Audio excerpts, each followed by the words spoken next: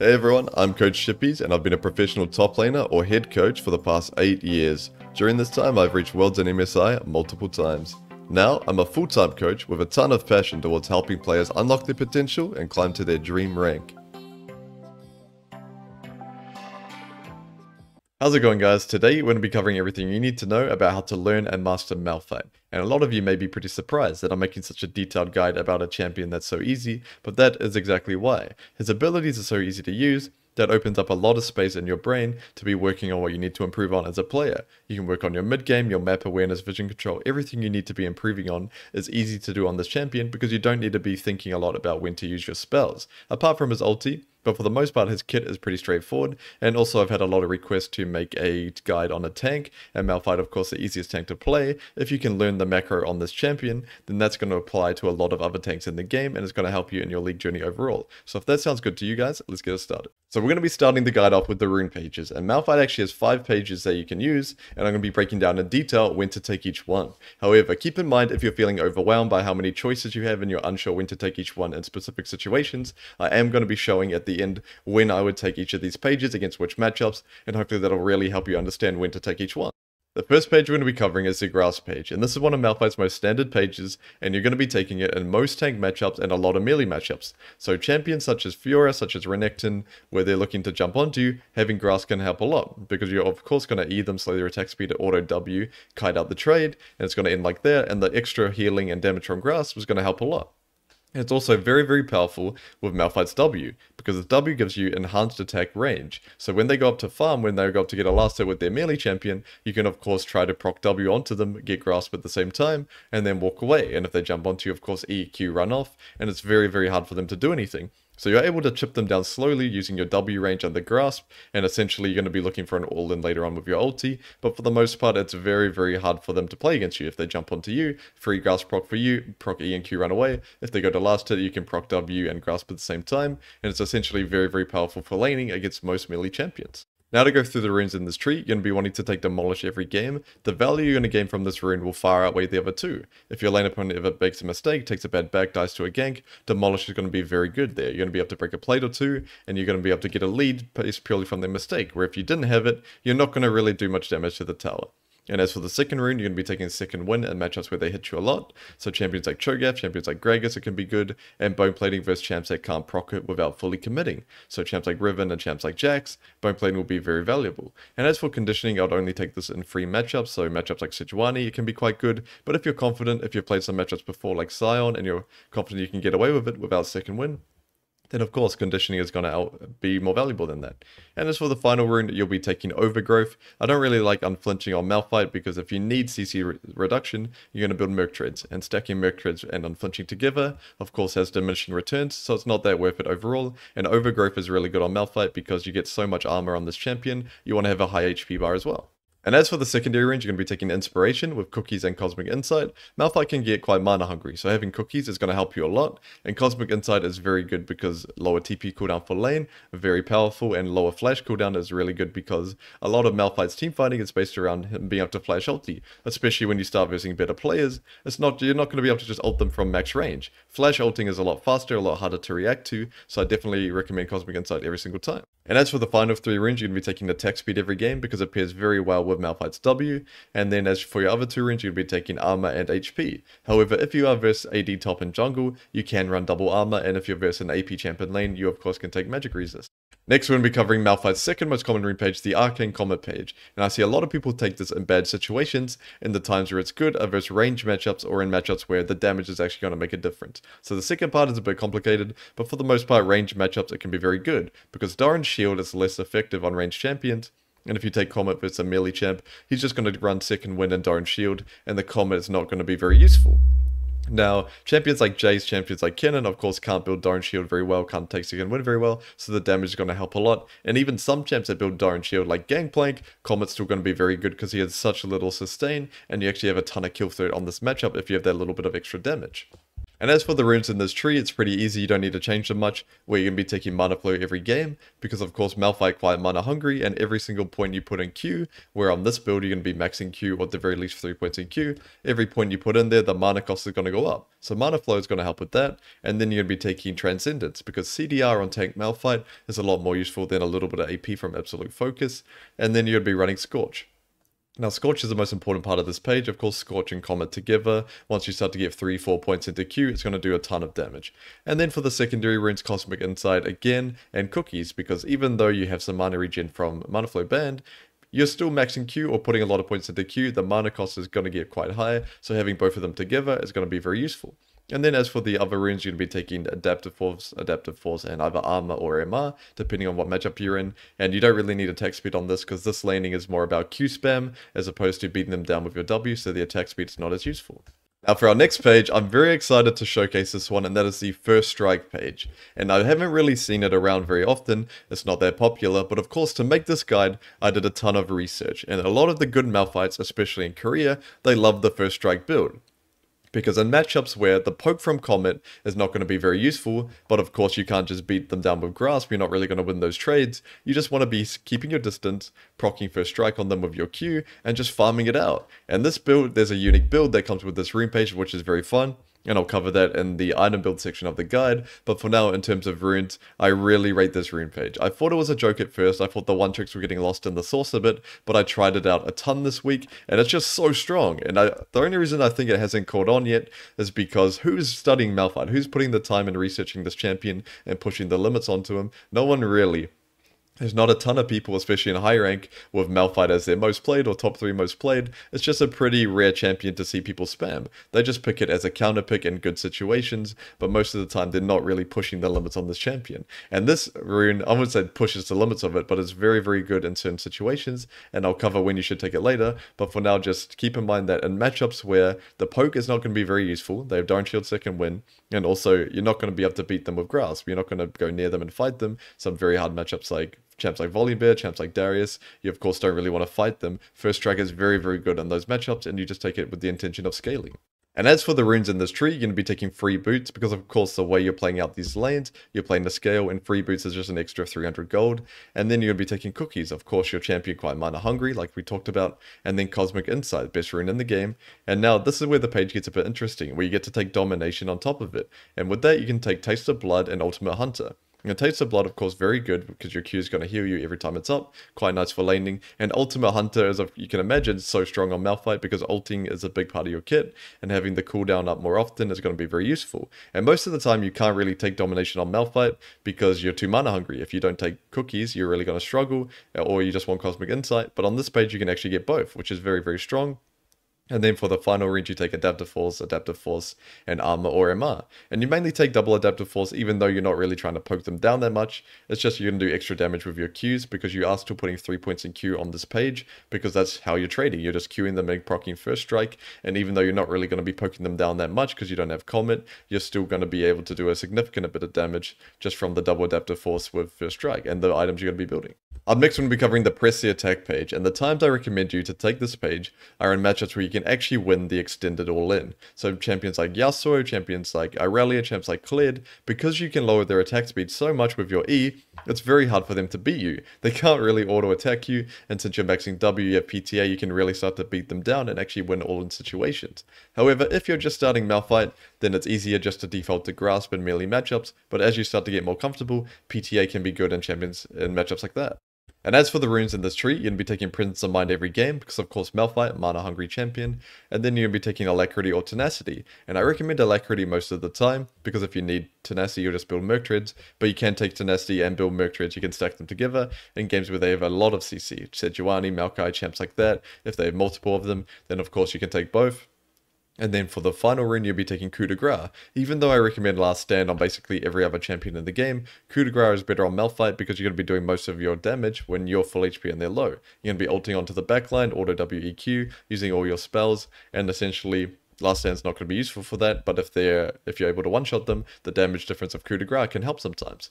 And then for the secondary runes, Cosmic Insight and Cookies, of course, Mana Hungry Champion, Cosmic Insight, best rune in the game, lower flash, lower TP cooldown, you really need this on Malphite.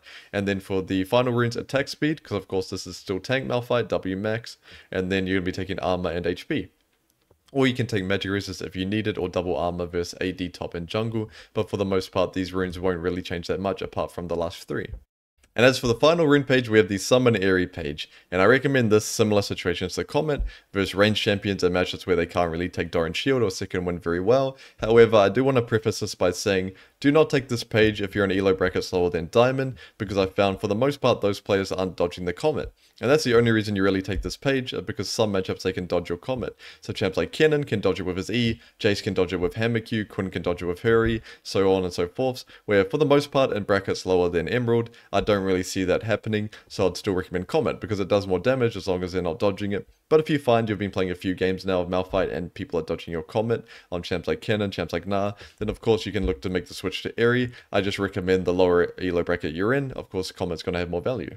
And as for the runes in this tree, they are the exact same as the Comet page, so if you miss that section, you can always go back to it, but you're just going to be taking Mana Flow, Transcendent Scorch, and then Cosmic Cookies with double adaptive and either armor and AD matchups, or magic resistant AP matchups. And to finish it off, I did promise you guys I'd make it easy for you to know when to take each rune, so that's what I'm going to do. I'm going to show you exactly when I would take each rune for which matchup, and then hopefully that'll give you some inspiration. There will be some variables depending on which bracket I'd be playing in, but this is what I would be taking in high elo. Keeping in mind, I recommend not taking PTA or Aerie. If you're in matchups around Emerald and below, you can look to put the PTA matchups up in Grasp or the Aerie matchups in the comment section and really simplify it. Then you only have three pages to choose from and you're going to get more used to the limitations of the rune and how much damage each one does and so on. But for the most part, this is what I'd be taking, so hopefully this helps you decide when to take each rune.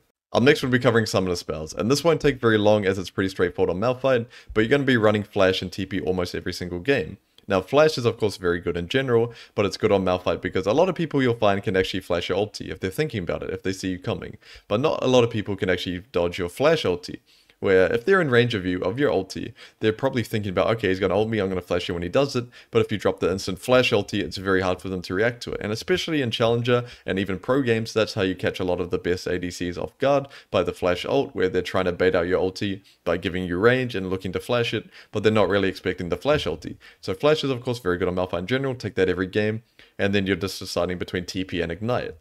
And I would recommend TP almost every time because, one, you're a tank champion, you don't want to be stuck inside without TP ever, you want to be a part of as many team fights as possible, and then also, if you take Ignite anyway, it doesn't really mean you're going to kill your lane. If anyone is dying to Malphite pre-6, they've got some serious problems with their laning, but I would take it in elo brackets gold or below in certain matchups. Matchups like Irelia, matchups like GP, where Ignite will give you a ton of kill pressure, but for me personally in high elo, the only time I'd take Ignite is versus Sylas. Next up, we're going to be covering item builds. Now, for your starting item, you're going to be running Doran's Ring or Doran's Shield, and the Ring is better in matchups where the poke is actually going to matter. So matchups where they don't have a lot of regen or they struggle to build Doran's Shield second wind. So champs like Kennen, champs like Narch, champs like GP, they're, most of them are range. Of course, GP is melee, but the poke damage, the extra damage from Doran's Ring, is actually going to matter a lot in those matchups. And Doran's Shield is best in games where you take Grasp, because you're going to be taking a lot of short trades, procking W and Grasp.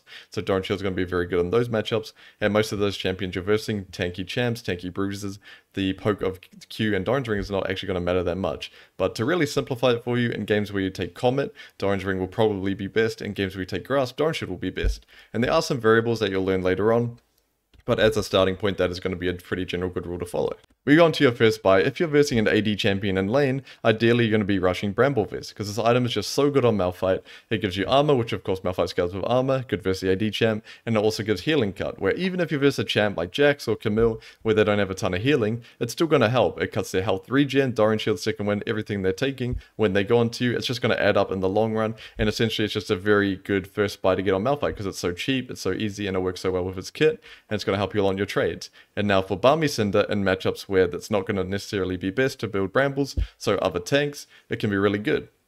Because it's going to help you with your wave clear, where essentially you can just keep the enemy tank stuck under tower if it's a matchup where you win, look to roam, look to impact the map, and then if he does go onto you, the damage is going to help in trades as well. And as for Negatron Cloak, I'd only build it when you reverse AP lane bullies, so champs like Rumble, Vladimir, it can be very good because without it, you know, just going to be essentially taking true damage, but ideally you would just go a Null Magic Mantle and build it to Jak'Sho early on, but if you need it, if you're struggling in the matchup, then of course Negatron will be really good.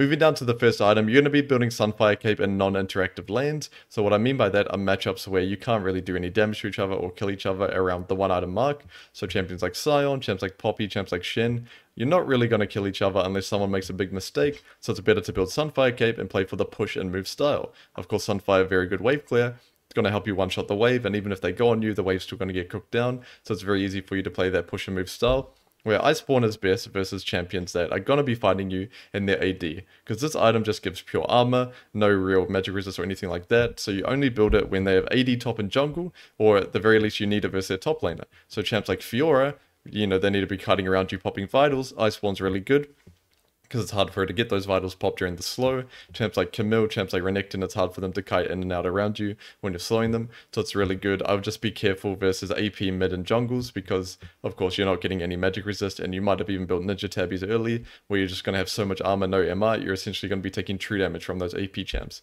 So Jak'Sho is a good middle ground where it gives armor, MR, HP. This item's really strong. I'd build this in any other situation, basically, then you're not building Iceborne and Sunfire, so games where you need MR, or games where you're not really where you do need to have some strength to fight back when they go onto you, but you don't want to be overstacking on that armor, and the slow is not that useful. Now, as for your boots, you're going to be building steel caps in games where you're versus an AD champion, or they have a heavy AD top jungle, and Merc Treads versus AP champs in lane. Having Merc Treads early can be quite good with certain AP champs, where it's pretty hard to itemize MR early on Malphite. Of course, he prefers building armor, but in some cases, you can go Bami's into Merc Treads into Sunfire, and it's not too bad. So that's a good balance where you're still getting the MR for lane, and you're getting essentially just HP and MR early. You're not wasting money on armor until the lane is just about done.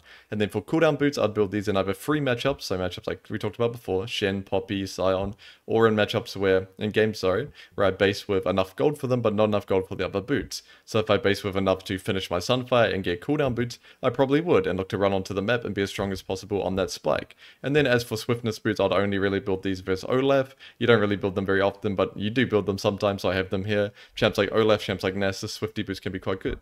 Moving on to your second item. Now, you're going to be building Thornmail in games where you've either already got the Bramble, of course it's a lot cheaper to upgrade that item than to buy a whole new one from scratch, or in games where you just need the healing cup from this point. Let's say they have champs like Soraka, of course can be good, and as for the Sunfire Cape, it falls into the same vein, where if you've already got Bami's Cinder, let's say you went Bami's into Protean, finishing the Sunfire Cape can be good at that point. But I'd never build it from scratch as a second item, I'd only do it if I already had the Bami's from early game. And then as for Abyssal Mask, I'll just build this in games where you need the magic resist, which is most games. You're not versing many full AD comps if you're Malphite, or it's a free win. And I would keep in mind, especially if you're building Sunfire first, or sorry, Iceborne first, where if you have an Iceborne first and you've got Ninja Tabbies, especially Bramble Vest, you just got so much armor, you definitely need a Abyssal Mask in that situation.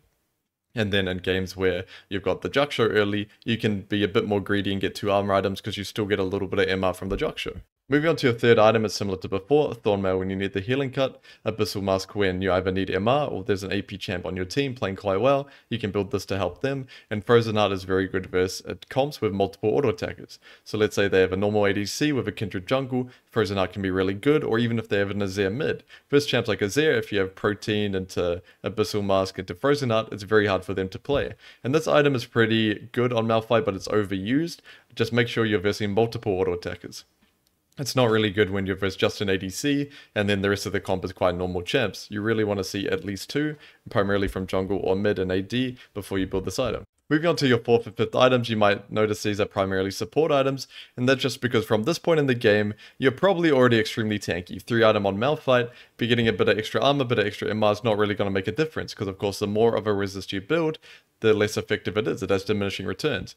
So from this point in the game, especially when you're versing 4 to 5 item AD carries and mid lane champs, you're not really going to be as tanky as you were, especially if they have champs like Vayne, champs like Azir, they're really going to start to shred you. So you really just need your team to be alive because it's this point in the game where everyone's full build, where they're the ones that need to carry. You might have carried the boats early game, but now it's their turn. And for that situation, support items can be quite good. So to go through each of the items one by one, you're going to be building chains in games where they have one main threat. So let's say they have a Kog'Maw who's carrying and no one else is. Chains can feel really good in that situation. Nightveil can be good in games where you have someone on your team playing well, but they keep dying. They can't survive the Talon, the Zed. They need all the help they can get. So in that situation, marking them with Nightveil can help a lot in games where Zhonya's is good are in games where you're still the hard engage. Of course, you're hard engaging for the boys, but you don't feel that tanky anymore. They have a Vayne, they have champs that just shred you, champs like Darius. Zhonya's can feel really good in that situation because you ult in, get your hard engage off, but you're not essentially a free kill anymore. So you can pop Zhonya's, buy more time, come back out, use your combo again, and essentially engage and buy more time than if you have to build any other item.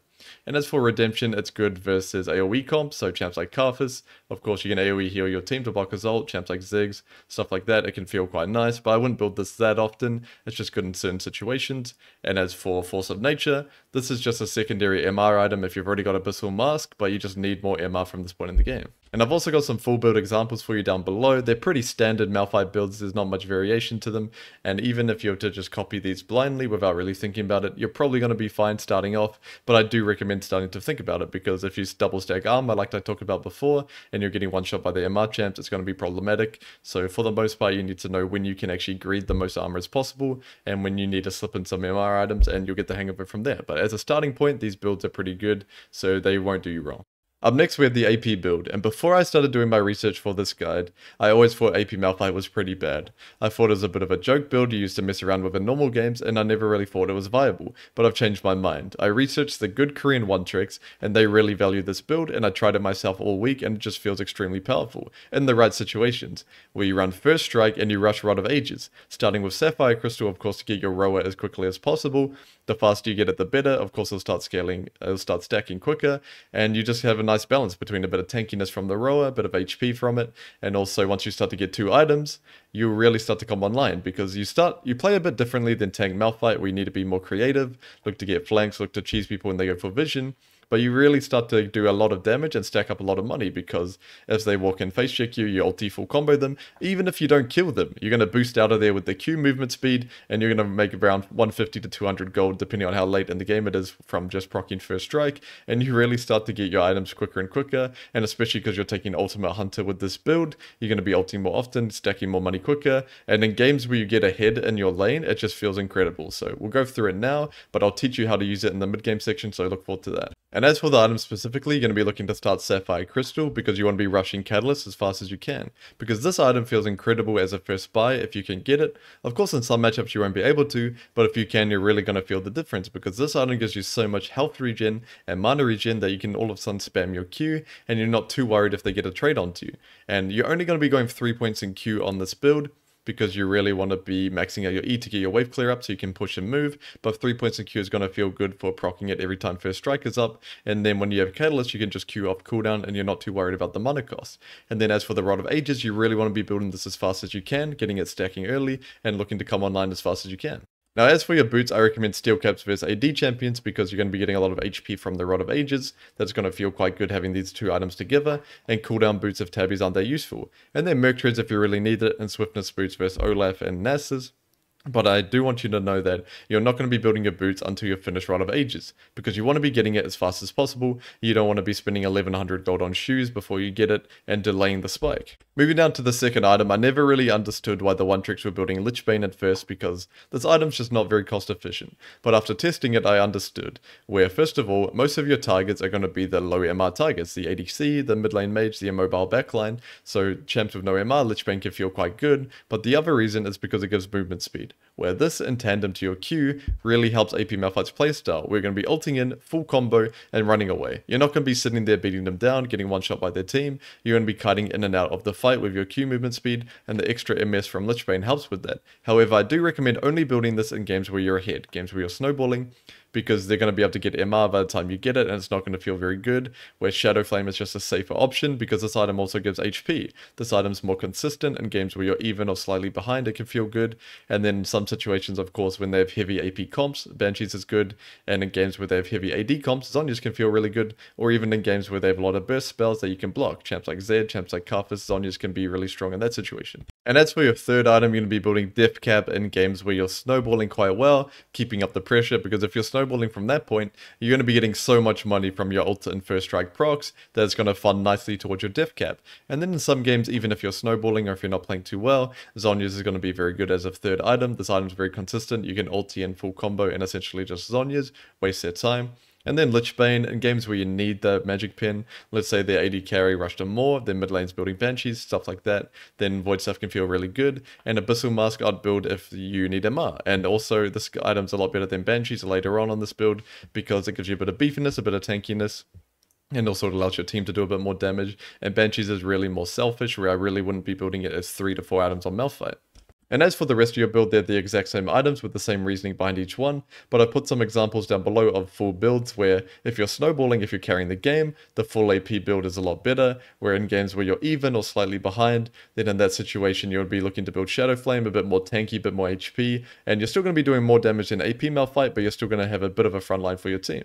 Up next, we're going to be covering the laning phase, and the way Malphite plays out his lane is pretty matchup specific, so I am going to show a few examples, but starting us off, we have Malphite vs Gragas, where even though Gragas beats Malphite in lane, Malphite can win early game. So I would try level 1 because I'm looking to get push, and normally I may start W in matchups like this and look to punch him with my W, using the extra range looking to proc grasp, but Gragas I was worried he would start E and look to cancel my auto attack with his E, missed a couple creeps there, unlucky, but for the most part I skilled E because I thought he would eat me away, and there if I buffer the E before he knocks me back, I can still get the damage down and get my farm at the same time.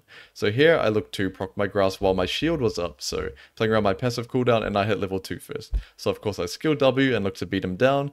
And now, even though I have Grasp up now, I don't want to run towards him because I'm playing around my W and my passive cooldown, where here I mistimed the passive slightly, and I'm pretty sure a minion ruined it, which was frustrating. But for the most part, that's what I'm looking to do. I'm looking to play around my W and my passive cooldown, and look to proc Grasp with my W every time I can while maintaining push because of course with Malphite's W and E it's quite easy to get push in a lot of matchups and Gragas is no exception. We're here, E him and the minion at the same time and then unfortunately there I'd use my W on a minion where I would normally use it on him. But for the most part I'm just looking to get push and poke him down with my W. And here's a good example of using the W's extra attack range where I proc it here and I'm looking to auto space him back and forwards where of course he's going to look to trade back onto me but I get extra range to them from my W so as long as I know okay, he's probably going to walk back towards me. He's not going to let me hit him for free, especially when he has a spell like his W. Then I can look to space him back and forwards, back and forwards while maintaining auto attacks. And then if he just walks away, right, he's near his tower anyway, I probably wasn't going to get extra autos down in the first place. So here I managed to get my push down, and in some games I would look to base here. But this is not the case because I'm so high HP and mana, and of course I have TP, there's no real threat of me being stuck in the lane. And here he uses his E on a minion, well tried to, so I'm able to get a good trade and essentially just punish him. Where here I am maxing my E, and in a lot of matchups I max W, in a lot of grasp matchups, but versus Gragas I do E because it's pretty hard for you to get a lot of continuous auto attacks onto him with W. Where here, he, because I've been trading on him this whole lane, I looked to space him with my W, I was able to get this kill. And unluckily, I had to flash away, but for the most part, this kill is a result of me knowing, okay, Gragas beats me in lane, but not early game. So I'm going to look to abuse that. And he didn't know that. He just counterpicked me with Gragas, so he expected to win the whole time. But every time my W was up, I was looking to punish him with it, where I can use the extra range and the grasp procs to continuously trade. Now for our next example, I'm going to play this on 2 times speed because nothing really happened, but I just wanted to showcase and talk you through what a basic lane on Malphite's going to be, because you're not always going to be able to kill them. You're not playing Fiora, you're not playing Camille, the laning phase is not always going to be flashy. Your strength comes later on in the game, and there's going to be some matchups where nothing really happens, and that is okay. So this is just one of those lanes where he's counterpicked me with Volibear, where he gets push, and there's no really way I can kill him. He's going to have Thorn Shield second wind. Even if I take Comet, the poke's not going to do anything. So it's a non-interactive lane. So I take first strike like we talked about before. And I'm just looking to stack money off him, farm my farm. And then when he bases, I'm just going to make sure I don't get stuck in the lane. Now, a lot of people you verse will have bad wave control. There's not very many people in this game below Master Tier that understand how to use the waves to make people leave their tower.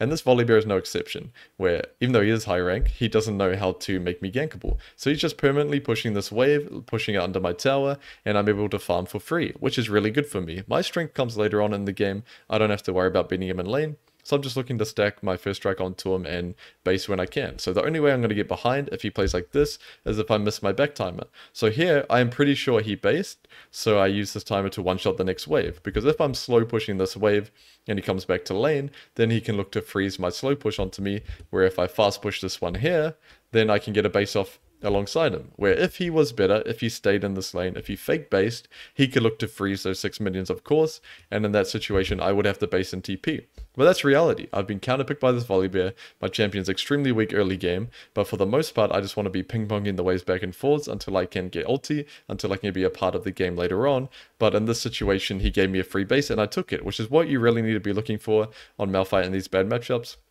your lane opponent's going to slip up, he's going to let you base, and then you have to be able to take it. And it's really easy on Malphite to take the base because you can one-shot the wave, unless it's a cannon wave, very easy with your W and E. So as long as you're keeping that in mind in these hard matchups, you're going to be fine.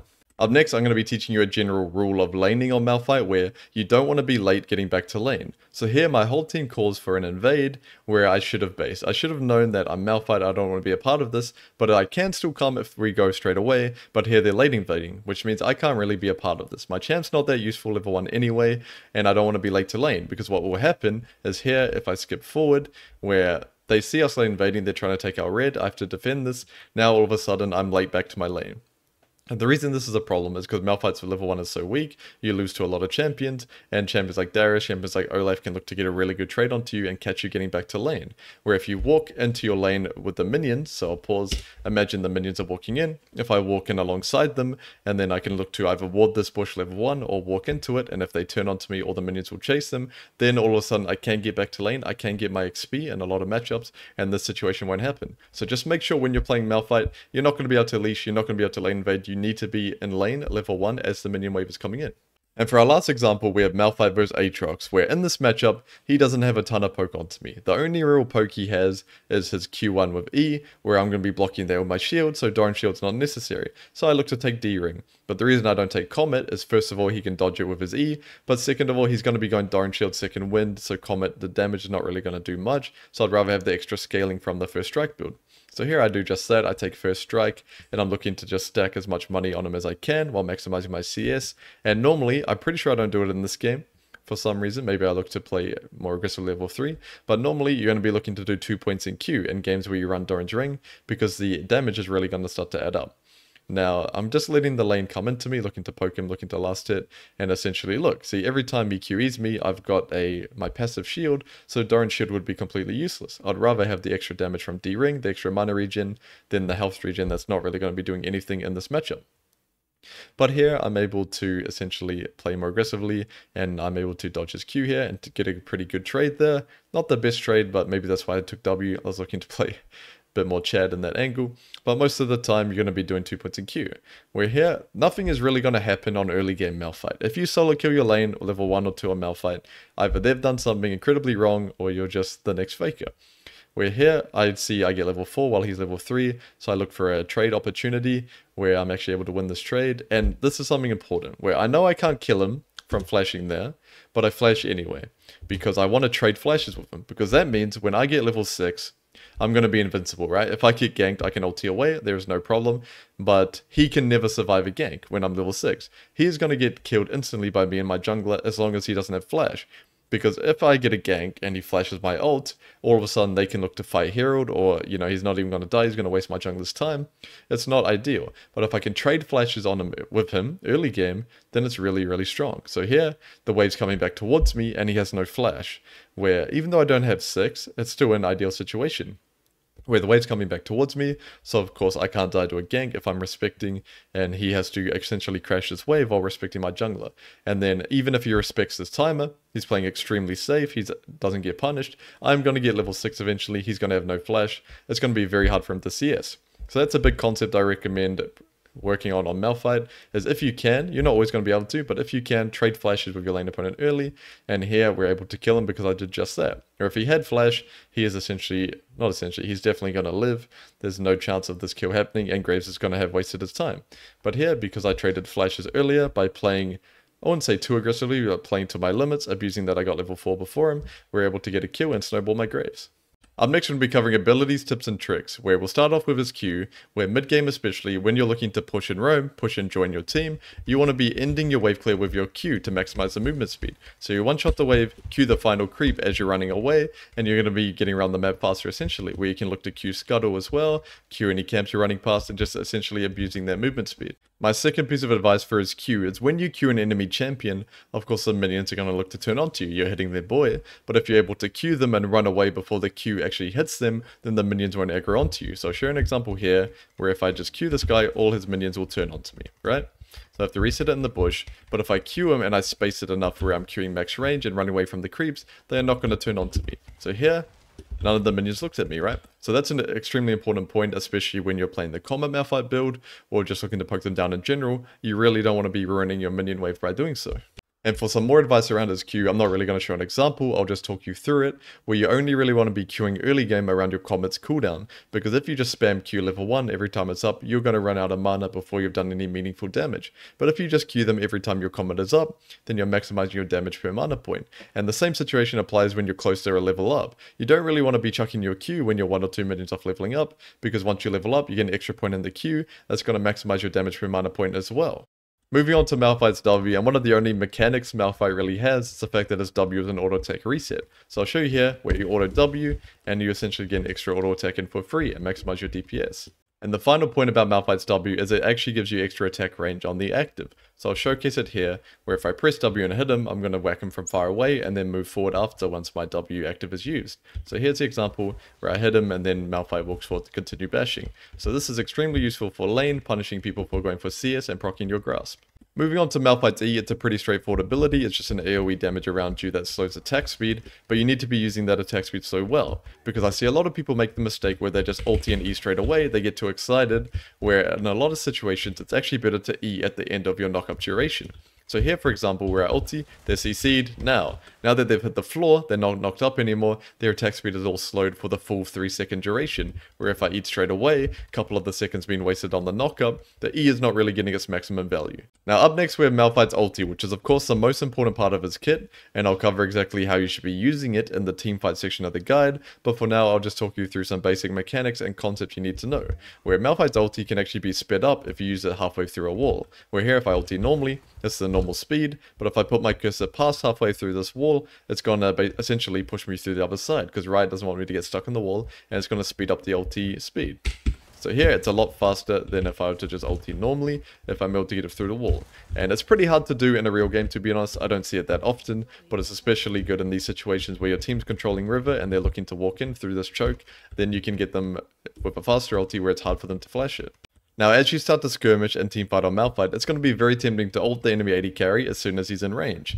However, that can be a bit of a trap. If you don't know if they have flash or not, you have to be very careful what you do. Because if they don't have flash, of course, it's a free ulti, but if they do and they flash your ulti, not only is your most useful spell not useful anymore, you've used it on cooldown, not hit anybody, now all of a sudden you're a free target for him and the rest of his team to hit. Where the way to counteract that is even if you're in range of them, even if they see you, you want to be looking to flash ulti, because it's a lot harder for them to react to it than a long range ulti, which of course you move slowly towards them. It's so much easier for them to flash that than a flash ult. And this works even in Challenger, even in pro play against players like Gumayusi. I've seen Kiin do it very much, where he just looks to flash ult him, even if he's in close range, because he knows if he just ults from far away, he's going to dodge it, and he really wants to increase the chance that his ulti hits.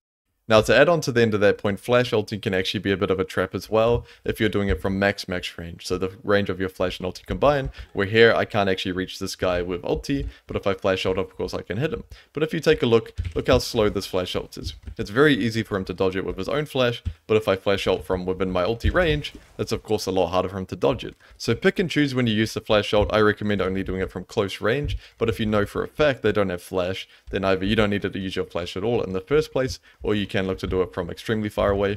But for the most part, max range flash ulting uh, from here is not the best play unless you see the angle. Unless you see the 3 or 4 man ulti, of course it can be good, but it's very easy to flash if they see you coming. Up next, I'm going to be covering Malphite's matchups, and I just want to clarify that these are for laning phase only, where a lot of them will be more difficult later on, especially champs like Gnar, champs like Vayne, champs like Fiora. Once they start to give three or four items, it can be, of course, very difficult for you to deal with them. But in terms of pure laning phase, it's not very much of a problem. Those champions are quite easy, and it's only really the strong AP lane bully champs that are going to give you a lot of problem, or the very strong bruisers like Olaf and Darius that can just run you down. But for the most part, you should be able to go even and neutralize your lane on Malphite. He's one of the best neutralizers in the game, and I'll talk you through some of the matchups. Starting with the hard matchups now, Rumble is the hardest by far. I almost put him in a tier of his own, but I'll keep him in hard because not many people can pilot this champion very well, except for in ranks diamond and above, but if they can, you're going to have a tough time. You're going to look to build MR early, you're going to be down 20-30 CS if you're lucky, but if your jungler's nice, if your jungler likes you, if he's playing a champ like Rek'Sai, then you can look to, of course, punish this Rumble, he's an immobile champion, but if it's pure 1v1 and your jungler's not helping you out, then be prepared to have a tough lane. And as for Vladimir, it's not as bad as Rumble, but especially later on when he's level 5, level 7, he has more points in Q, he's just going to sustain all your poke back that, he, that you Q onto him, he's going to heal it back, and eventually he's just going to be poking you under tower and looking to dive you either with his jungler or by himself by resetting the tower aggro. But this matchup, it should be okay. You shouldn't lose too much. Of course, Vladimir can't really break tower plates that well. It's just you're going to be under tower getting poked the whole time, and there's not real much you can do. If you ultimate, you'll just pull it, so it's pretty hard to gank him as well, and it's one of his hardest matchups. Now, as for Sylas, I actually don't mind this matchup too much in terms of pure 1v1, but I do always ban Sylas because I don't want my team to have to play against Sylas with Malphite ulti, where in this lane, if you take PTA and Ignite, you can actually look to beat him down, especially early game, and you take Ignite because he was probably going to max W against you as Sylas, so you can look to cut their healing down and actually win an all-in against him. But of course, he's going to look to outscale you eventually. And this, I'm not going to say this matchup's good. Of course, he can look to kill you with a gang with Malphite ulti as well. It's just a pretty tough matchup. I would put it a tier lower if this was for Challenger only, but this tier list is for everybody. So in general, it is a pretty hard matchup. And I recommend banning Sylas for playing Malphite. Now, as for the opponent favored matchups, the first five champs in this list are actually harder than the rest, where it's pretty hard for you. You're just going to look to be taking first strike versus Olaf and Darius, try to maximize your gold income, and versus the other champs, it's going to be quite a tough time, but you just look to build tank, trade on them with grasp when you can, and you're probably going to get pushed in in these matchups most of the time. There will be times where you can get pushed, of course, but essentially in these matchups, you just look to farm it out. You know, might go down a bit of CS, but in team fights, you're going to be more useful than almost all of them. Moving down to the skill matchup tier, now these matchups are the most fun, because if you know how to play that, you're going to catch a lot of people off guard, where champions like Irelia, champs like Trynd, champs like Fiora, they are so used to being able to just jump onto your head and beat you down, but versus Malphite, of course, with your E and your W, that's not always the case, where especially once you start to get 3 or 4 points into your W, you can actually start to beat them down, especially versus a champ like Irelia, where she jumps onto you, you use your Q movement speed to dodge your stun, and you've got 3 points in W. With Bramble Vest, you're actually just going to beat her to death, and there's a lot of matchups like that. Bramble Vest early, few points in W, you'll start to win. And once you start to figure it out, you're going to have a ton of fun playing these matchups. Now, as for the Malphite favorite matchups, it's really important for you to know which runes to take and which build to do. So for example, there's champs like Jace, Teemo, GP, the Comet build is going to have a ton of value. Well, even though you're still building tank, you're going to be going D-ring early with Comet and Scorch. You're going to be doing so much damage to them. Eventually, you're going to be able to kill them with your ulti, even without a gank. Of course, if you get a gank, it's free. But if you can chunk them to 50%, all of a sudden, you're able to full combo them with your ulti. And a lot of these matchups are like that. And the ones that aren't, champs like Sion, champs like Camille, you just straight up beat them up. You get three or four points of W, and they go near you. You can just actually beat them down, and they don't really do much damage to you in return. So you're going to get pushed for the majority of these lanes, and you can use that to carry the game in a different way. You can use it to secure TP advantage, TP bot, you can roam mid. You have a lot of options on this champion and matchups where you're going to be getting permanent push. And then for the other matchups where you don't necessarily get pushed the whole time, they're just so vulnerable to either being ganked or either being killed by you. Once you start to give three or four points in your queue, it's going to be really hard for these range champions to deal with you. And as for the free matchups, champs like Quinn and Vayne can't really deal with your Q poke, and eventually they're going to be low enough for you to ulti and all in, and they don't really have any sustain to deal with you. And then champs like Wukong and Yasuo, they just can't do anything. If they go near you, you're going to pop E and beat them down with W, and you just win that trade where these are champions they really want to be getting into your face and fighting you, they can't really do anything versus you, especially once you get Bramble Bramblevest. And Maokai, it's just a free lane where you take Klepto and farm money off him. You're going to be getting pushed in some situations in the lane and some level spikes, and then you use that to move and impact the map in different ways. Up next, we have Malphite's identity and the mindset I want you to adapt when you're playing this champion, because anyone that's first Malphite in lane knows he's a pretty good neutralizer. He's not really going to punish you that hard unless you're playing a ranged champion, but for the most part he's just going to go even with you, and if you're able to get an advantage against him it doesn't really matter, because he's such a strong team fighter and frontline for his team, that even if you kill him once or twice, he's still going to be very useful in the game. And that's a big part of the mindset I want you to have, where even if you lose your lane or even if you go even, that is okay. Your job is to basically go even in your lane, you neutralize whoever you're up against, and you're going to be more useful than him out of lane for the majority of the mid game. Now, a big problem I see people make on Malphite is they play side lane too much. They're trying to push side, they're trying to make people react to them, where you're not playing Fury, you're not playing Jax, you're playing Malphite. Your job inside is to make it go even and put it in a state where it's not pressuring you. Because you don't want to be in a situation where Dragon or Herald's up, you want to fight it or Baron, and there's a wave under your bot tier 2, and you have to walk all the way there and push it, and now all of a sudden there's a 5v4. What you want to be doing before that objective spawns is putting your wave in a state where you don't need to answer it. So either resetting it back to even, or one wave past even, where now if your lane opponent wants to pressure the bot tier 2, they have to catch that wave, the next wave before they hit the tower, and you have around a minute plus, depending on how hard you push it, to essentially impact the game by grouping up with your team, looking to hard engage, and then as soon as your job is done, reset, go back to side, and do it all over again. Where your job in side lane is not to pressure your lane opponent. You can't really make a 5v4 situation on Malphite most of the time. You just want to be in a situation where you're not being pressured and the enemy top laner is not making a 5v4. Now, because Malphite is one of the best hard engage champions in the game, most of the time you don't want to be TPing into a fight. Of course, there will be some situations where it's good, where there's a fight breaking out and you can TP in and change the outcome, but for the most part, if your team's sitting up around Baron, sitting up around Dragon, and they're really looking to fight this, your jungler's pinging, let's do it, you don't really want to be, oh, I'll just catch the side wave and then TP into it. The fight is going to be decided before you get there in that case. They might kill your backline, and now even though you jump in, you make their backline unable to play, you're so late to the fight that now your backline's been unable to play as well. Where if you're at the fight from the very start, hard engage for your team, your backline can do damage, they have to deal with you, right? They have to peel you off their backline, and it's a lot harder for them to participate in the fight. Where if you're there late, then they can do whatever they want. They don't have to worry about getting Malphite ulted, they can dive onto your backline, and even though you're TPing in, the whole time you're channeling TP, you're not there. So for the most part, I strongly recommend being at a fight on time as Malphite, and then TPing back to the side lane if you have to. Now, because Malphite's ulti is one of the most threatening spells in the game, there's going to be a lot of situations where it's actually best to hold it. And I'll cover this in detail in the team fighting section of the guide, but for now the mindset I want you to have in terms of your ulti is that if the backline is not doing anything, if they're respecting your ulti, they're not hitting anyone on your team, then you're already doing your job and holding your ulti is more threatening.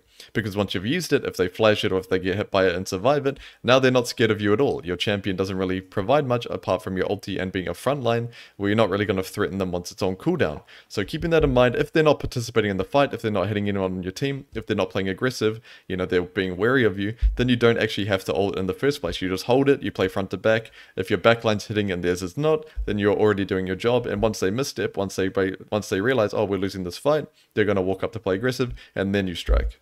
And the final thing I want you to keep in mind is that you're probably going to be outscaled in side lane eventually. You've probably played a lot of games where you've neutralized or won your lane, but eventually they become so strong in side lane it's hard to deal with. Champs like Fiora, champs like Jax, champs like Camille can get very, very difficult for you to verse three or four items into the game.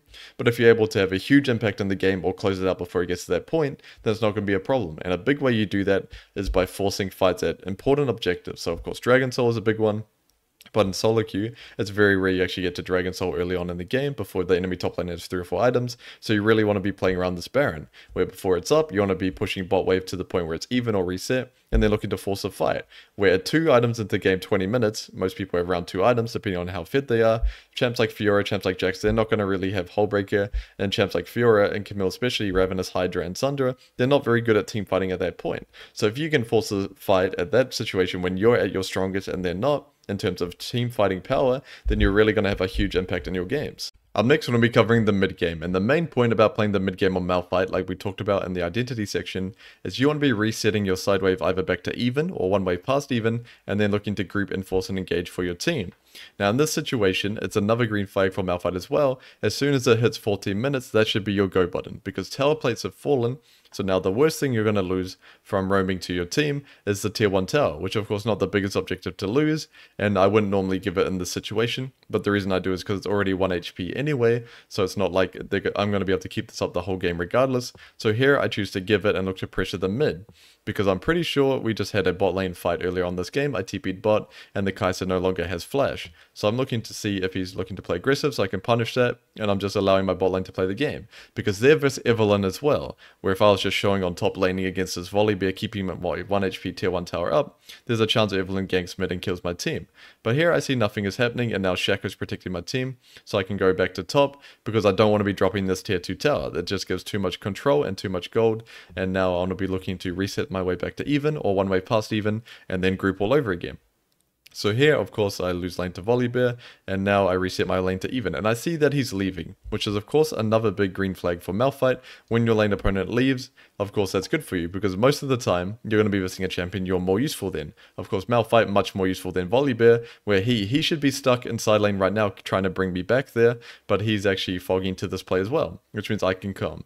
And now another important point about Malphite, and there's a lot of them for this example, where holding your ulti is very important, and we talked about it before, but here, if I were to ulti this Sett, of course I'll probably kill the support Sett, waste of my ulti. If I ulti this Volibear, he could flash it or ulti away, bad ult as well, and I really want to be holding it so that Evelynn can't play the game until the right time. And here, they group up together, they stack as two, and the mid tower is about to fall, so I choose that opportunity to flash ulti.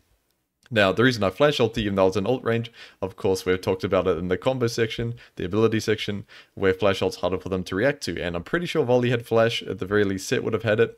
And now, because I was able to flash ult onto them, they are unable to dodge it. And I chose it at a timer where Evelynn just wasted her charm, her CC, and then we're able to punish the mid. And of course, they started the game off it. Don't want to toot my own horn, but I'd, I'd like to say I carried that situation. And the main point, the main way I carried that situation is I didn't let myself get stuck inside lane from volley.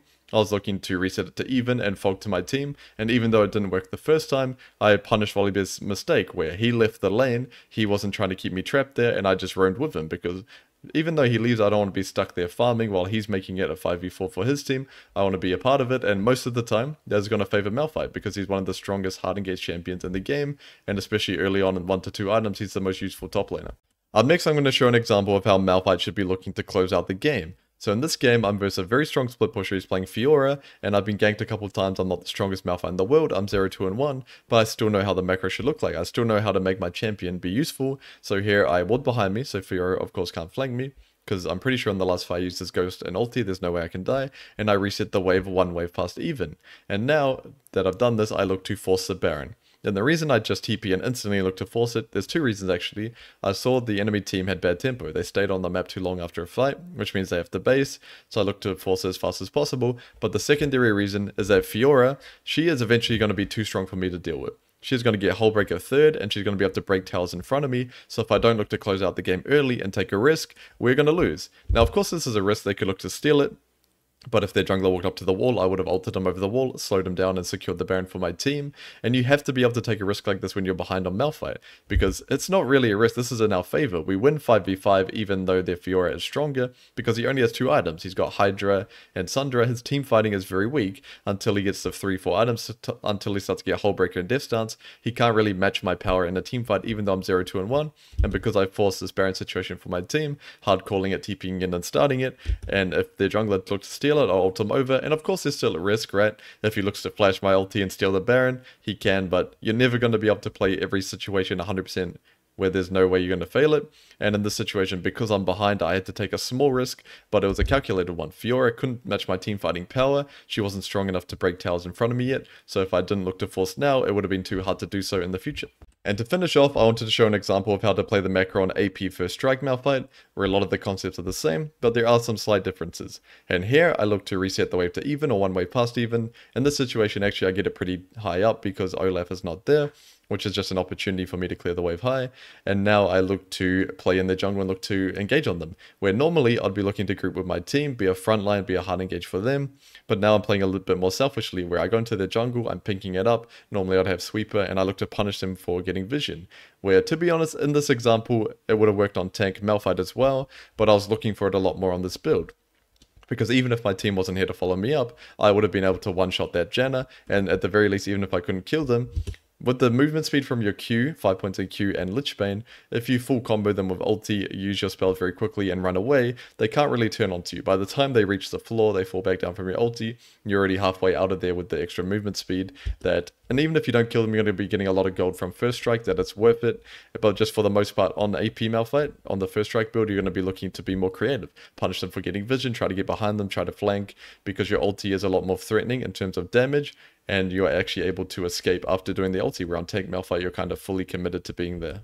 So here's another example from that same game where I just spaced and hid back to bot and my team got caught a dragon. So I, I don't care about that. I look to reset the wave back to even or one wave past even in this situation and then I look to pressure them. Where even though I beat this Olaf right now because I beat him in lane, I'm ahead of him, I don't really want to do that. I don't want to be fighting this guy in the side lane wasting my time. I want to be pressuring their team. So at first I wait here, see if anyone wants to walk in to get vision, but then eventually I see Kog'Maw on the wave. So I look to wait near this bush and if he ever plays aggressively, I'll punish him.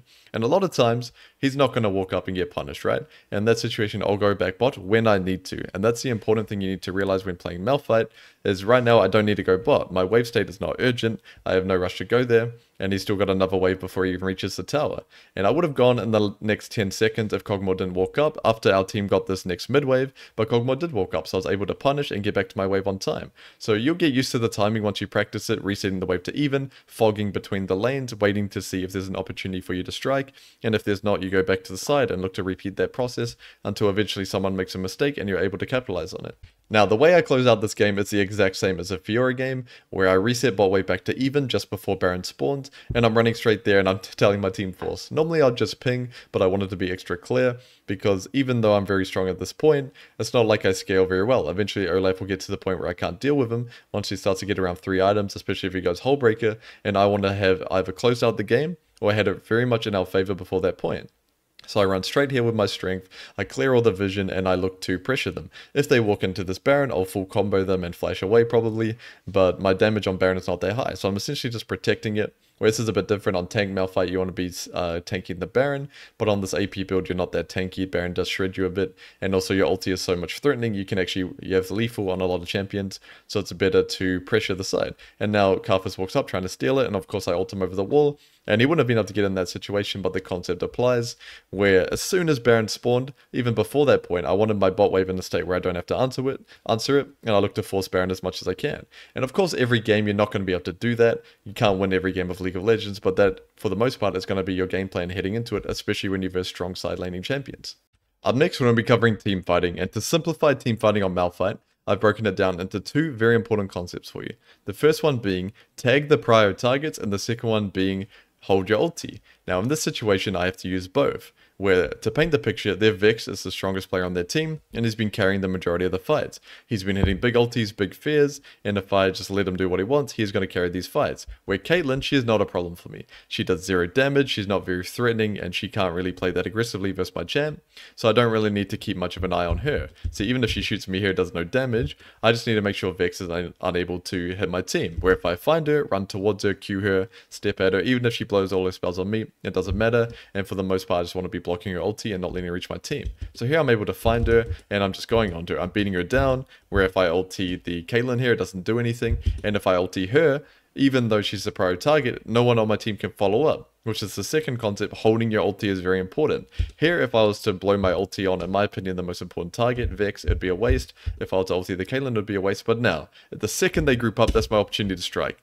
They made a mistake in their positioning, which came because I was holding my ulti, and now there's a situation where, boom, I'm able to get a big ulti, my team's actually able to follow up, and we're able to, we don't actually win this fight, to be honest, this Lee Sin goes sicko mode, but I had the best chance of winning this fight, because I held my ulti and I, I marked the prior target, where Vex, the strongest player on their team, was unable to carry the fight, and I had the highest chance for my team to win it, where that Lee Sin played, he deserved to win that fight, let's be real, but I used the best possible, I played that team fight the best possible way I could, in terms of marking the prior targets and holding my ulti till it was the right time to use it. And although the holding your ulti concept is most important in team fights, it's also very important in skirmishing as well. Where here, there is there, of course, the prior target. I could look to ult them now, but no one can really follow up. It's not very pressuring, where the fact that I have ulti in this situation is the most pressuring. It makes the top laner TP in to save the Azir, and we're able to burn him down. We're able to chain CC him and kill him before he gets his ult off, and we're still able to kill this Azir. Because I held my ulti that whole time, Azir felt like he was unable to play, and then as soon as he saw me use his ulti,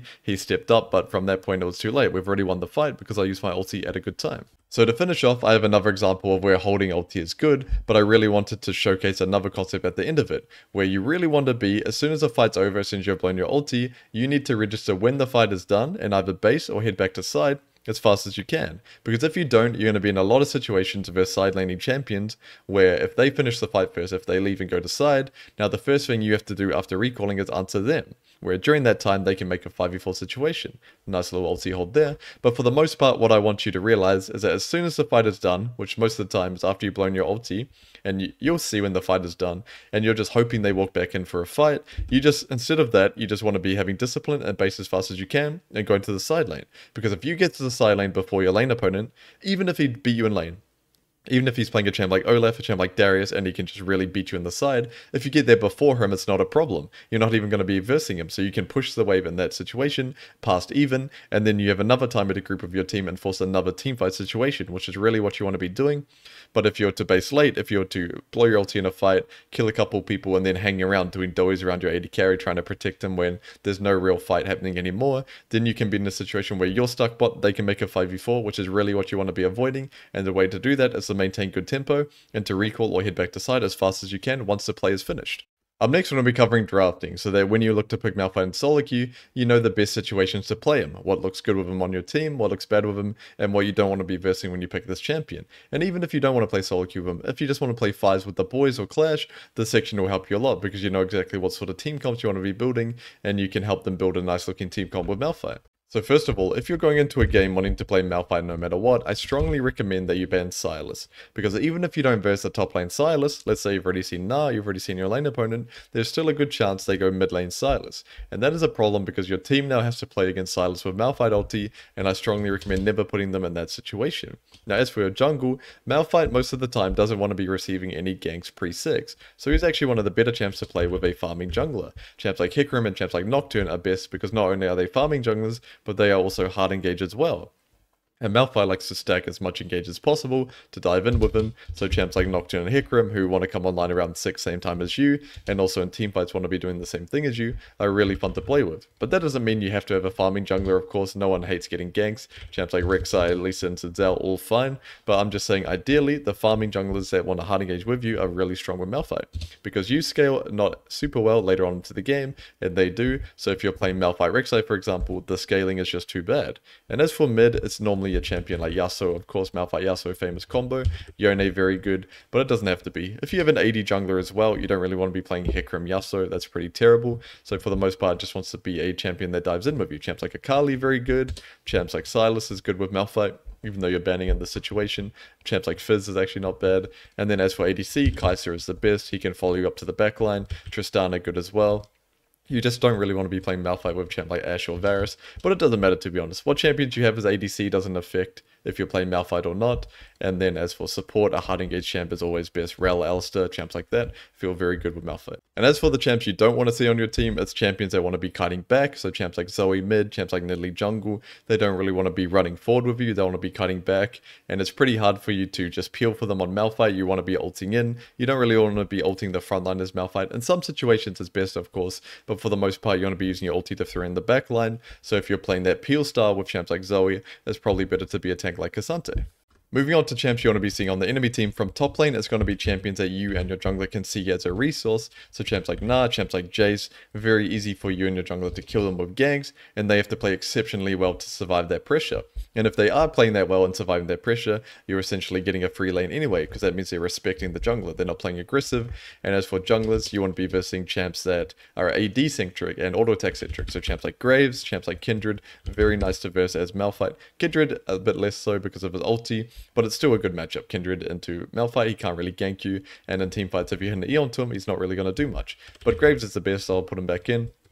And then as for mid, of course, ideally you'll be versing a full AD comp, but I'm not going to put that in. That's a bit of a joke, where you're not going to be versing that very often. You want to be versing immobile mages, so champs like Xerath are very good, because normally high range comps are countered by hard engage, which of course Malphite, one of the best engages in the game, and most high range champions are very immobile. So you see at Jason Xerath, two of the highest range champs in the game, they don't really have any escape to dodge your ulti except for flash. So if their flash is on cooldown, they're essentially a free kill.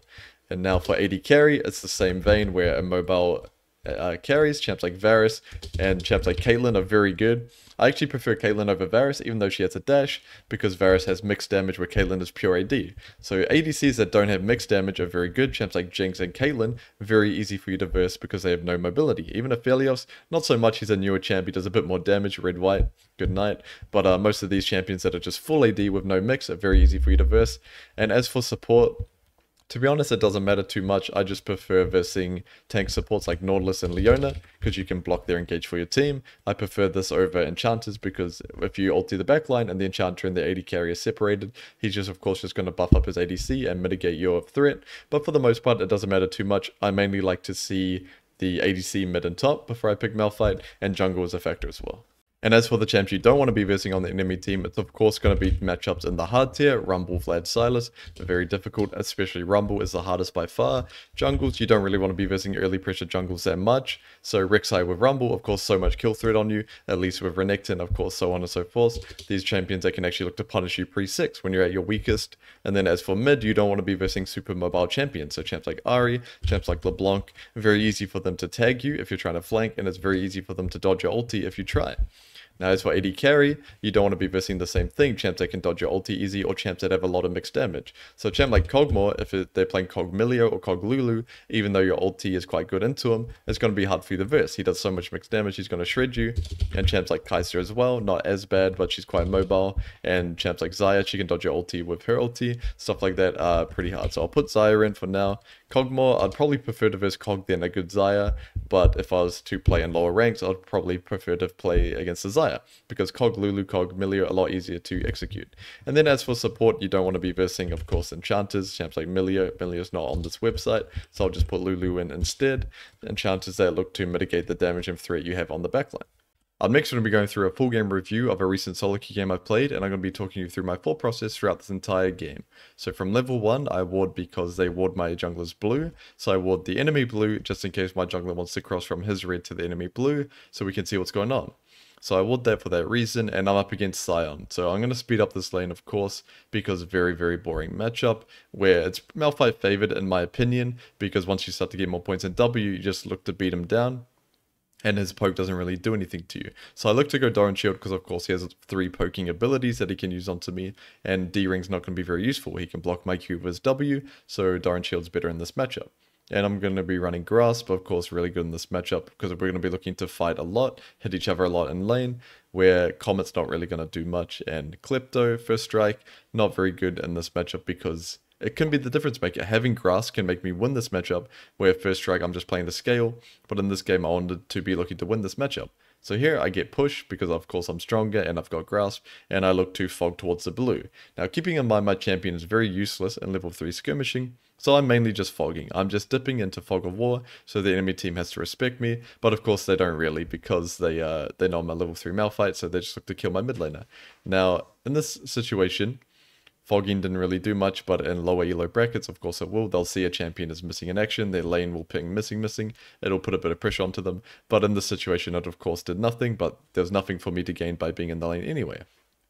So from now, I'm looking to let the wave come back into me because I don't really want to base it at this timer and let Sion get a free base as well and I'm going to be looking to punish him when he goes for CS. Now, I'm not saying I'm going to kill him at this timer. I probably don't. No, I know I don't. But it's just better to let the wave come into me at this timer because I don't want to reset because he's in a position where he needs to reset as well. So it's better for me to farm outside my tower and give my jungler an option. But from now, my jungler he doesn't take the option because, of course, it's Malphite vs Sion and it's not very valuable for him. But of course, the option's still there if you wanted it. So I'm just looking to poke him with my W, farm this, farm the farm, and then get level 6 without anything bad happening. Which is exactly what's probably going to happen, and I'll speed it up even more, because this is what you should expect in a lot of your Malphite lanes. You're a neutralizer, and this game I'm up against a neutralizer as well, so nothing is really going to happen. So my thought process now is just to get a base off, but he walks past me, which of course if you can get behind someone as a level 5 Malphite, 3 points W, very good opportunity to beat them down. Which is exactly what I do, but there's not really much threat I have of diving him, so I just look to base. Of course, I have no mana. Even if I had ulti, I probably wouldn't dive him there because I'd be using my ulti. He could always flash it, and even if I do kill him, he's just going to clear the whole wave with his passive. So here I TP back because I see Sion fast pushing the wave, and if I TP, I can of course freeze it outside my tower, deny him gold and XP, and then if he TPs back, he's still going to lose something, and if he doesn't, he'll lose a lot. So I TP back for this reason, and I'm just looking to hold this freeze and deny him gold and XP. And if he doesn't TP back, it's not a problem. I get push in this matchup so I can secure when I recall. So I'm not too worried about that. The only worry I would have is if he impacts the game from going bot. But like I said, I have push. It's pretty hard for him to TP at a time without losing a lot. So here I'm just looking to slow push the wave because even though I froze initially to deny him a wave of golden XP, I don't want to be freezing forever on my champion. I want to be roaming around the map, impacting the game, and if I can keep him stuck under his tower, fog mid, now it's hard for their mid laner to play the game. Even though it's not mid game from this point, I win my matchup so it's something I can do which is exactly what I want to be doing. We're losing this game. I want to be impacting as early as possible before the game is just over. So slow push this wave, look to punish him with my W and grasp, and as you see I'm up a level from denying him the golden XP, and now I'm going to be looking to fog. So I thought their jungler was invading our red, which he was, it got pinged out, so I go towards it, but I didn't realize Nautilus was here. And luckily I'm able to dodge the Q, and if you'll notice I awarded the Herald, because it's very important for my jungler to see if I awarded Herald or not, as I've talked about many many times, but if he sees the enemy jungler wasting 30 seconds to kill Herald, he now has a big option to impact the game through diving bot. So I award it for that reason, and also we could look to fight it if they look to contest it, and I'm just looking to respect the pressure of the enemy jungler, but now I see him mid, I can look to start pushing again. Especially because Sion has no mana, I don't really want to be giving him a free base, so I'm going to look to one-shot this wave essentially instead of slow pushing. Now, I don't know what he was doing there, he should have been trying to recall, of course he has no mana, but now I just want to be looking to keep him stuck in the lane. So from this point, I'm just going to skip ahead of the laning phase because there's not much to it. Malphite vs Sion, of course, two neutralizers, two beefy boys hitting each other. But the reason I wanted to showcase this is because I want you guys to be comfortable in playing matchups like this. This is an educational guide, and I'm telling you, there's going to be a lot of situations like this, where you can't just dominate your lane, you can't get solo kills, and you need to be comfortable with it. Because on Malphite, there's going to be so many situations where you don't snowball early, but you can carry the game mid to late game if you know the macro, if you know what you're doing. Because this champion, of course, one of the strongest team fighters, one of the strongest hard engagers, you don't necessarily need to win your lane, and this is a good example of that. So I'm going to skip at the head of the lane for now, and I'll see you guys in the next sequence. And now's my chance to impact the game, where I'm strong enough now, I've got Sunfire Cape, that I can start to proxy the wave. And you won't always be able to do this, but if you can, it's very good. Because if you can proxy wave between the towers, not only does that mean your recall is more efficient, you'll get back to lane faster, but it also means if you TP bot now, then the Sion doesn't have a wave to use to break top tower. So here I see an opportunity to TP, where I'm looking to kill the Samira. But it could be very tempting for me to ult straight away now. But one, I don't know if she has flash or not, and two, no one can really follow me up. Because of course Briar can't control who she's going on, she's hitting the Nautilus, so I hold my ulti for the right time. And here I see the situation, boom, I was hoping to hit the 3-man ulti there, and if I did this would have been so clean because Rell wouldn't have been able to CC my whole team. So it's really unfortunate I was only able to hit two, but you can see holding your ulti most of the time is just going to be better overall, where if I was able to hit three there, we would have won that situation outright. But even though I held it and hit two, it was still a pretty, I wouldn't say an even trade, but we're really far behind this game. Look, at their bot lane has seven kills to L1, so if I was able, so because I was able to double kill their bot, it really slows down their momentum. So from this point, after TPing bot and double killing them, I'm just hitting straight back top and looking to repeat the process, where I want to be keeping Sion stuck under tower, and then using my ulti to impact the map. Of course I don't have TP this time, but I can always look to run into their jungle, run mid, and pressure in that way. Where here, of course, 5 points W, I look to beat, I win the trade outright. Malphite wins against most tanks when you have a lot of points in W, and especially I have Sunfire as Heartsteel, where his is more of a scaling item. So of course I win the trade, so I'm able to get him quite low, but the problem is he has TP, because I use mine to impact the game bot, and he's using his selfishly. Which is of course not recommended when you're playing champs like Sion, champs like Malphite, but that's what he chooses to do. And I'm able to get fruit, and even though I'm not full in mana, I'm still okay to stay in the lane. So now he TP's back, and I'm pretty sure I receive a gank here. And as you noticed back then, I'm going to skip back, I actually looked at the dragon. So the reason I didn't rotate down to here, even though it looks like I should, is just because I'm realistic about it. Their whole team is kiting down bot river, where if they see me coming through midwave, they are just going to leave to the bot tower. Now, it's unrealistic that they stay and they keep fighting the whole time, the whole 30 seconds it takes me to walk here. They see me on mid-wave and they just let me walk up and ult them, right? That's just unrealistic. If I wanted to be a part of this dragon, I would have come here 30, 20 seconds before it spawned and then been a part of the fight. And if they saw me coming then, they would just respect me and give the dragon for free. But in this situation, Drag's already gone, and they're they're running down bot river. So even if I was to come to this fight, the chance that really uh, I'm able to be a part of it is very low. And even if I am, even the best case scenario, one guy stays around playing too aggressive, and I kill one, Sion's going to break my whole tower. He's going to keep my wave stuck under the top tier two, and now I have to base, run top, catch their wave, and now he can carry the game in his own way. So it's better for me to stay in my lane and not waste time and just not have unrealistic expectations of running around the map.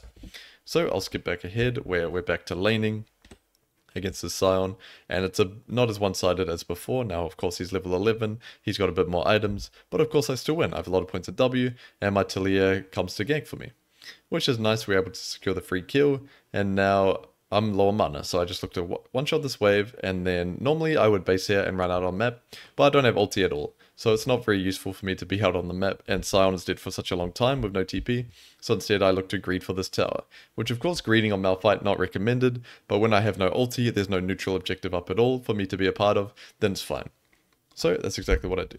So now from this point I'm hitting straight top out of base, and my reason for going top instead of bot one, Taliyah's already there, but normally I wouldn't mind kicking him out, but Baron and Dragon are two and a half minutes from spawning, so there's no reason to really mess with the lane assignments for no reason. There's no clear objective where if Baron was up, for example, I would be sending Taliyah top and I would go bot, because if we were all playing for Baron, she's probably going to die as a side lane Taliyah, but now no objective is up, it doesn't really matter, and here I re reset one wave to even and run straight mid. I don't want to be fighting this Diana, even though I beat her. I don't want to be wasting time inside. I want to be running straight mid every time I can, and if there's no play, I'll go back top, but in this example, there is. And here I hold my ulti, wait for them to blow their spells, and now boom, now's my chance to strike, get the two-man ulti on their Fed Samira, and we're able to win this fight where even though Diana, I blocked the Sion ulti as well, not too shabby, even though Diana was only 12 to 15 seconds later than me, that's all it took. That's why I recommend not TPing into a fight late as Malphite, because that 4 seconds you're not there can make all the difference. Being at the fight first, having your actual body there, can make all the difference in these situations. Because especially Malphite ulti is instant, you want to be there able to use it all situations. And here, as you notice, as soon as I use my ulti, as soon as the fight's done, I base straight away. I'm not wasting time, I'm not bashing the tower, I'm not farming camps, I'm basing instantly, hitting back to side, so I can put the side wave in a situation where I don't have to deal with it in the future. So now from this point, I'm heading straight to bot river because I want to control the dragon area for the next team fight. And I would prefer if Taliyah had based earlier so I could get the bot wave in as well. But it's fine, she must have greeted for an item, I'll just play accordingly. But it's bad for her to greet her tempo like that because now she's going to be coming back onto the map very slowly. But it's fine, top wave is not urgent for me, it doesn't really matter. It's just her mistake means that if they wanted to, they could have broken top tower for this dragon. Which is of course fine, this is the third dragon, I don't mind that trade. But it's best not to give anything if you don't have to. So here, because I'm playing in their face, but I'm the tankiest champ in the game right now, they can't really do anything to me, which is why I was playing so aggressively. They look to go on me, and essentially we get a good fight for free. Where I see Samira's chunked, I'm able to just one-shot her with my ulti, and because I was close enough to her, it was hard for her to flash it. She still could have, of course, but if she flashes away from me in a fight, which is half HP, she essentially can no longer fight anyway, and then we just look to clean up the back end of the fight. Now, the reason this fight worked out is because I knew my limits there, where they have Sion top, Rell jungle, Dynamite, nobody is going to kill me. It doesn't matter if they engage onto me, even though my team is far away. But in another scenario where they had a ton of damage, let's say their Syndra's fed, they have a fed Kog'Maw, something like that, a Vayne, then of course I wouldn't have played so disrespectfully, but you just need to play relative to how much damage they have and how much damage they can do to you. So now from this point it's 20 minutes into the game, which means Baron has spawned. And like we've talked about, Malphite, the main way you close out the game is by starting a Baron situation, where you're going to look to turn on them with your ulti if you start the Baron, or take over their jungle and ult them if they walk in. So here, I'm going bot with the intention to reset my wave to even, or one wave past even, and then look to bring my body to Baron, which means if they're trying to use the bot wave to pressure tier 2, it's going to take them so long we're going to be able to secure the Baron. But here, a pretty cool situation occurs where I hear my Briar ulti, and of course it's Shern, he's been my pro player jungler for many years now, so I trust that it's going to hit instantly blind, and I just TP straight away, which was a pretty cool combo. I got pretty excited about it in the game, but the problem is I got too excited. I ulti too early, where of course we talked about holding your ulti is better, and Diana was actually able to dodge it with her E. Or if I hold it, held it till this point, had got the 3-man ulti, of course it'd be a lot better, but the situation still works out well. I just thought it was a pretty cool thing to show, but for the most part, even if that didn't happen, even if he missed his ulti, I would have reset my way back to even, ran to this Baron, and looked to start a situation where if they walk into us, I'm going to turn on them with my ulti, and we're going to be able to win the fight, especially with Samira having no flash, and if they don't, we're just going to be able to get the Baron for free and use that to close out the game in a different way.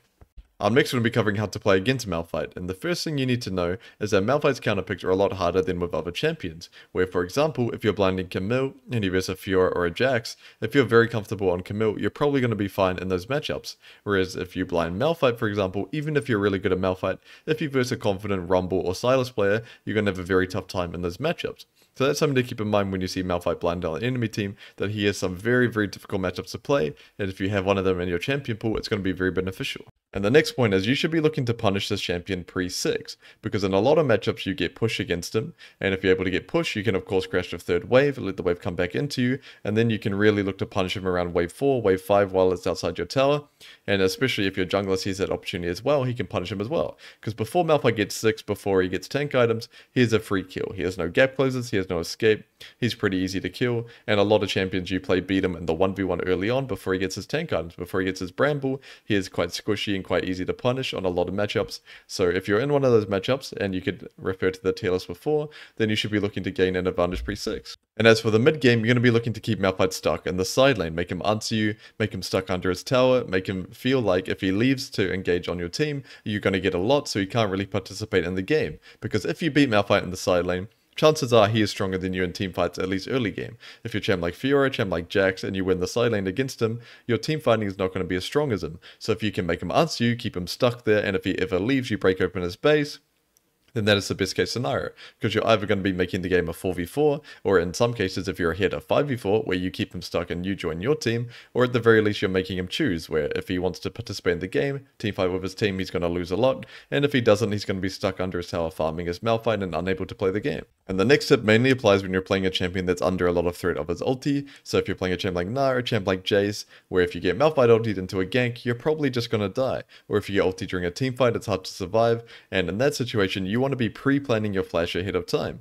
So you want to be assessing Malphite ult as the biggest threat and thinking in your head, as soon as this guy ults me, I'm going to flash it and you're ready in advance to dodge it. Because even if you're good enough to react flashes uh, ulti, most of the time, not most of the time, sorry, there's going to be a lot of situations where you don't pull it off. Where if you're pre-planning it ahead of time, then your success rate is going to be way higher. And it doesn't have to just be for flash, a champ with a gap closer, you can uh, plan out ahead of time to dodge it, or if you're parry, stuff like that. But essentially, you're just pre-planning Malphite's ulti before he even uses it, and having your counter plan in mind. And the final tip, and in my opinion one of the most important, track Malphite's moves proactively for your team. So what I mean by proactively and not reactively is you know from the mid game section that Malphite's going to look to reset the wave to even and fog mid, look to hard engage for his team and be a part of a team fight.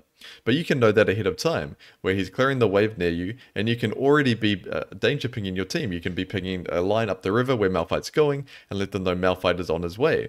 Where if you do it reactively, let's say he's halfway up the river by the time you ping, but your AD carry has already chosen to play aggressive, it's a lot harder for him to break out of that bloodlust mentality. And I'm not saying if you do it pro uh, proactively, they're going to survive it every time. You're going to play with some people soft inting or some disrespectful solo queue teammates, but for the most part, if you track it ahead of time, it gives your team a lot higher chance to play around it and survive the insane engage range that Malphite has. Now to wrap it up, we're going to be going through the main takeaways that I want you to burn into your brain, where for early game, you should be okay with going even or neutralizing your lane opponent, because there's not a lot of champions in this game where Malphite can really dumpster them in lane. There are some, but a lot of them you're going to be content with going even and carrying the game later on. And when tower plates fall, that is your green flag to start impacting the map as much as possible because you're not too worried about what they're going to gain in return. Now, as for mid game, you want to be looking to reset the wave to even or one wave past even, and then looking to fog between the side lane and mid lane, where if there's a good opportunity that you see on the map, if their bot lane's playing aggressively mid, of course you'll commit, and if there's no opportunity, then you fog back down to bot, clear the next wave, and repeat the cycle. And as for late game, the way you're going to be closing out the game is forcing an early Baron situation, because if you verse a lot of strong side laning champions, eventually they're going to get too powerful for you to deal with. So you want to be looking to secure Baron for your team before that point. Because it's very, very hard to play side lane against a Baron team. So if you can secure that as early as possible, even if they start to get their hull breaker later on, you're going to be fine. Your team's going to be ahead from the advantage you give them from being such a strong team fighter. And then as for team fighting, the most important takeaway is hold your ultimate because the threat of a Malphite ult coming down and taking you out when you're playing aggressively is a lot more scary than a Malphite that just ults straight away. And if you're surviving it or if you flash it, now all of a sudden there's no threat on you at all. Okay guys, I'm going to end it there, and I'm glad I got this guy done because I have a lot of good memories of playing this champion throughout my career, and I think he's just pretty unique in the sense that you can play him from IM through to Challenger, he's good in pro games, LCK, LPL, it doesn't matter. This champion is always good in all levels of play in League, and I think that makes him pretty special. But as usual guys, if you have any concept or champion you want to see me cover next, let me know below, and apart from that, I'll see you guys next time.